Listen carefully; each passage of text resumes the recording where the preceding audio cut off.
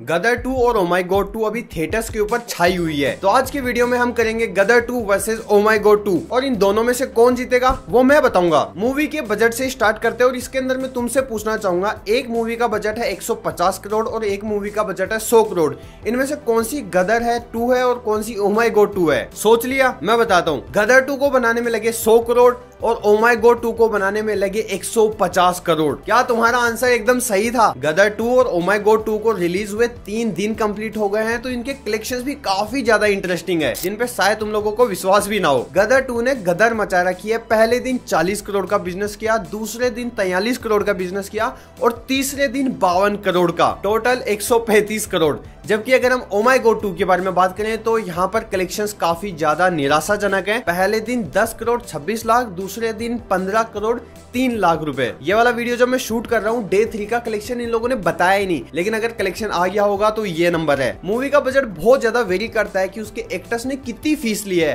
तो आए चलो, फटाफट बता देते हैं तुम लोगों को दूसरों की पैसों पे नज़र डाल के। सबसे पहले अगर हम गदर टू के बारे में बात कर ले तो सनी देओल ने लिए थे पैंतीस करोड़ रुपए। भाई सनी देओल डिजर्व करते हैं। अमीशा पटेल जिन्होंने बीस करोड़ लिए। उत्कर्ष शर्मा जिन्होंने लिए दस करोड़ रुपए।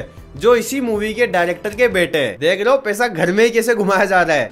बिज़नेस ओ माई गोड टू के अंदर अक्षय कुमार ने लिए 35 करोड़ पंकज त्रिपाठी ने लिए 15 करोड़ और यामी गौतम ने लिए 10 करोड़। और अब बात करते हैं सबसे ज़्यादा इंटरेस्टिंग चीज़ गदर टू और ओ माई गोड टू के कंपेरिजन के बारे में जो मेरा पर्सनल फेवरेट है। गदर टू एक एक्शन ड्रामा मूवी है जिसको तुम अपनी पूरी फैमिली के साथ में जाके देख सकते हो। जबकि ओ माई गोड टू सोसाइटी के मुद्दे सेक्स एजुकेशन के बारे में बात करती है और इसी वजह से इसकी ऑडियंस काफ़ी कम हो जाती है। सेंसर बोर्ड ने गदर टू को ऐसे क्लियरेंस दिया जैसे कुछ था ही नहीं उसके अंदर, और सच में नहीं था। लेकिन सेंसर बोर्ड ने अपनी पूरी आँखें खोली और ओमाई गो टू के अंदर 26 कट्स लगवाए और बहुत सारे डायलॉग चेंज करवा दिए, और उसके बाद भी उसको ए रेटेड घोषित किया। किसी भी मूवी को ए रेटिंग तब मिलती है जब उसके अंदर कोई स्ट्रॉन्ग लैंग्वेज का यूज़ किया जाए वोयलेंस हो या फिर सेक्सुअल कंटेंट हो या फिर ड्रग्स हो। और ओमाई गॉड टू के अंदर इनमें से कुछ भी नहीं था, सिर्फ़ सेक्स एजुकेशन के बारे में बात की जाती है। वो भी बहुत ही ज़्यादा सही तरीके से, जिसके अंदर अनकंफर्टेबल फील नहीं होता, और जब किसी मूवी को ए रेटिंग मिल जाती है तो सत्रह साल से कम वाले बच्चे इसको नहीं देख सकते। ग्यारह साल से बीस साल के बच्चों के लिए ही बनाई गई थी, ताकि उनको सेक्स एजुकेशन के बारे में अवेयर किया जा सके। और देख कौन नहीं सकता? वही लोग। और इसी वजह से ओमाई गोड टू के कलेक्शन काफ़ी ज़्यादा डाउन होते चले जा रहे हैं। और सबसे ज़्यादा इंटरेस्टिंग चीज़,